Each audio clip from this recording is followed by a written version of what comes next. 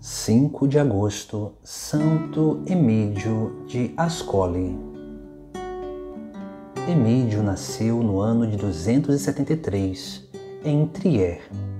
O lendário Emídio, um pagão convertido, sentiu o dever de partir para a Itália e, ao chegar em Milão, foi imediatamente ordenado sacerdote por São Materno, dada a sua devoção ao Senhor após a perseguição de Diocleciano, teve que fugir para Roma, onde foi acolhido pelo Papa São Marcelino e considerado apto para assumir responsabilidades episcopais, foi destinado à cidade de Ascoli, junto com seus fiéis companheiros.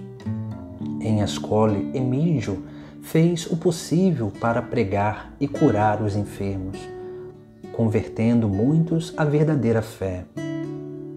Mas Polímios, o então prefeito, e pessoa hostil às crenças cristãs, acreditou que ele era uma reencarnação do deus Esculápio e pediu-lhe que oferecesse sacrifício aos deuses, prometendo-lhe polícia sua filha em casamento. O santo não só recusou, como converteu a menina e a batizou nas águas do rio Tronto. Polímio então ordenou a prisão de Emídio e o condenou à decapitação. E disse uma história antiga que na hora do seu martírio, quando lhe cortaram a cabeça, Emídio pegou a cabeça que havia rolado no chão e começou a caminhar rumo à montanha, onde havia construído um oratório. E neste lugar, ali, ele morreu.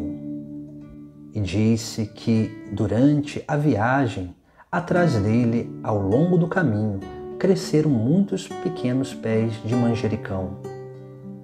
Além disso, com a sua chegada no alto da montanha, junto ao oratório, a terra se abriu e o santo mesmo deitou em sua cova. Policia, procurada pelo pai, fugiu para a montanha e nunca mais foi achada.